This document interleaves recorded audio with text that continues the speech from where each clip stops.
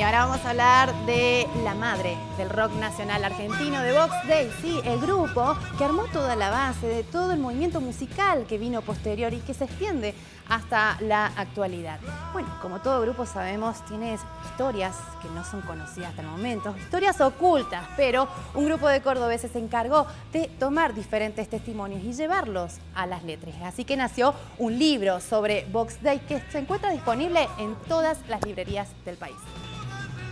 y el libro se llama Historias de Box Day, como el título lo dice, podrán encontrar la historia de esta gran banda del rock argentino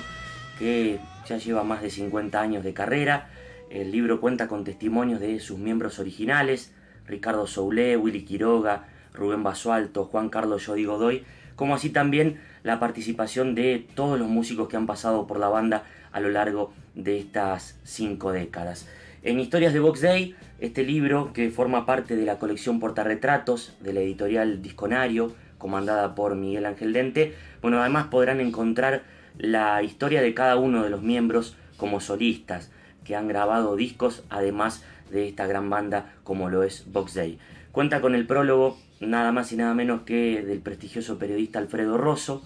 la contratapa con las palabras de Fito Páez y bueno, testimonios de músicos como Andrés Calamaro, Claudio Gavis, Elmiro Molinari, Alejandro Lerner, Raúl Porcheto, entre otros. Historias de Box Day ya están en las librerías del país y los invito a que lo compartan.